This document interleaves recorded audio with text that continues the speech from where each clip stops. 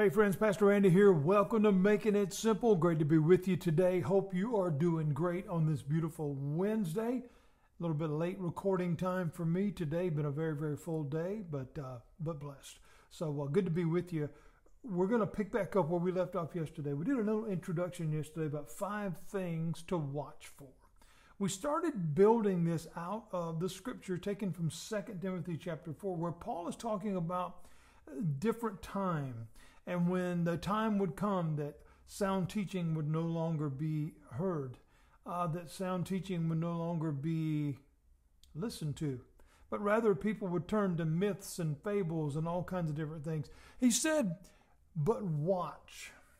But watch in everything and hang on in there. Keep doing what you're doing.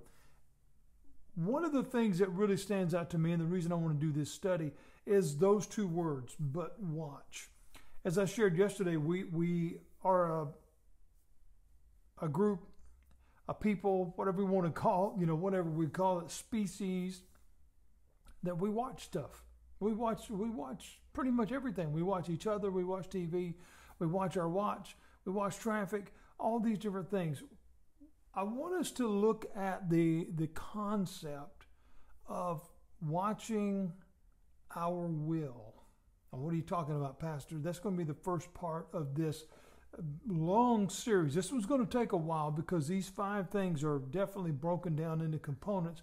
And obviously, we try to keep these lessons a little short here, uh, so it'll take a little while to get that. Paul here is talking about a time when sound teaching would no longer be heard. What I want to ask is is it is it is it no longer heard or is it no longer offered? Is it offered or no longer listened to?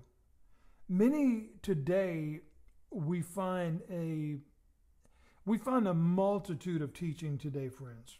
Some of it's right, and some of it is very, very wrong. Now, that is not just me being critical just to be a critic, or that is not in any way trying to put a light on me to say that I know everything, because some of these folks have been around for a whole lot longer than I have. But we see the word sound here. Why does that matter? Sound teaching. Some versions even use the word doctrine, which is again another word for uh, a, a, a variation of teaching. Why does that matter? When I talk about the concept of our will, see, if I personally believe something, whatever it might be, my intention, my will, if you will, is to get you to believe it. That, that's when we begin to step over the realm of it being the things of God and rather being the things of man, humanity, people. While there's true that many people today don't want to hear the truth anymore, that, that's absolutely true. And, and in the process of that, they turn to things that offer them, as Paul here says, things that itch your ears. In other words, things that go along more so with what you want to hear. Well, that's true. Because when people hear what they want to hear, that's a that's a comfort. A teacher begins to have some level of um, a pride if you don't be careful, because you want to hear that you're right. And once that has been embraced, that you're right, then what are you going to continue to do? You're going to use those same methods to continue that level of popularity or to continue that level of notoriety or fame or whatever you want to call it. I see it all the time. There's one particular person in general that, again, I personally don't care for. I don't because I don't think they teach the truth. They have their version of the truth. Now, again, that's my opinion, so I'm not naming names. But when this person is so highly revered for their great intellect and their great uh, exposition and all the things that they say, and they stand in this high platform above everybody else. They have people line up to ask them questions. That's arrogant. And the problem with that is then you begin to assert your will over God's will.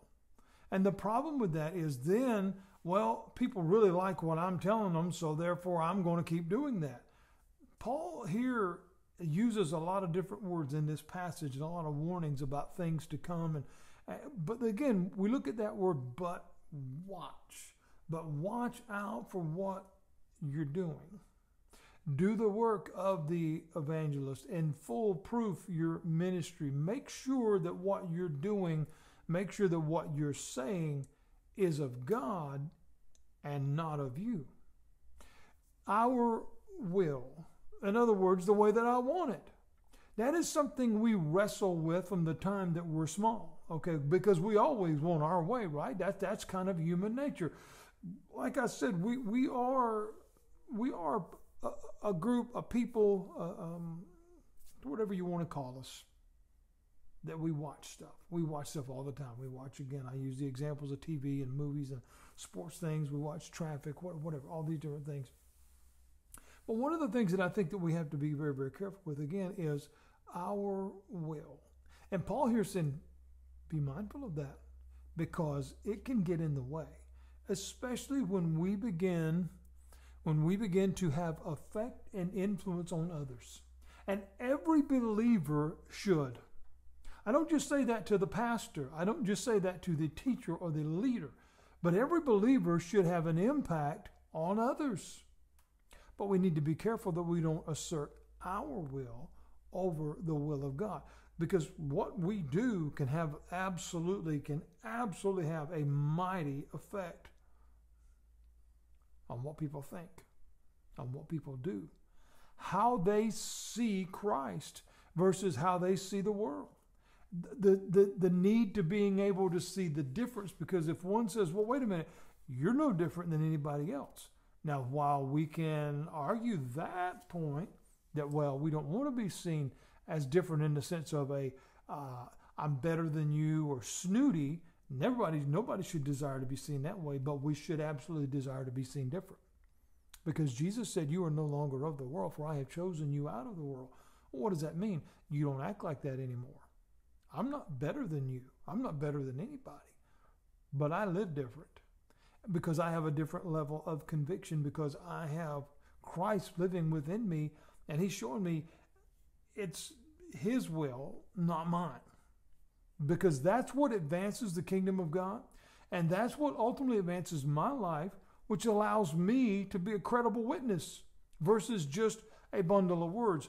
We have a responsibility to those that are listening. We have a responsibility to those that are watching. Because I assure you, as much as you may watch things, you're being watched too. And I talked about that yesterday, not in the creepy big brother kind of way, but that's true too. But God is God is mindful and cares about our witness because as I've said in many of the other studies that I've done, we are a reflection of the image of God because that's how we were created. He has given every one of us every one of us a task, a job, if you will, and that is to go forth and show him to others. Tell others about him and in order to do that, in order to complete that, we have to be watchful along the way that I'm not showing them me rather than showing them Him. So again, we need to be mindful of our will because sometimes we begin to assert that quickly. It just kind of gets in the way. Hebrews chapter 10 and verse 7, it very quickly says this Then I said, See, it is written about me in the scroll. I have come to do your will, O God. We go back further in the Old Testament in the book of Psalms, and we see in chapter 40 and verse 8, it is written, I delight to do your will, O God, and your instruction is deep within me. We live in a time, and we're going to wrap things up with this part today. We live in a time of great selfishness. Many, many around us insist on doing things their way, insist, insist on exerting their will regardless of the consequence. I see it all the time. I know people this way, and they will lie and exaggerate and do all kinds of things to get people to believe stuff. In other words, they're exerting their will over the truth because they don't want anybody to hear the truth. And while, yes, indeed, we live in a time where the truth is often hated without a question, that doesn't remove the need for the truth. Because as Jesus said, the truth will make you free. We'll pick back up on that tomorrow, Lord willing. We'll get back here together uh, tomorrow and record the next episode of Make It Simple. I hope this has been a blessing to you and intrigued you to say, man, what is this guy talking about? I want to hear more. You'll get that tomorrow, right here at Making It Simple.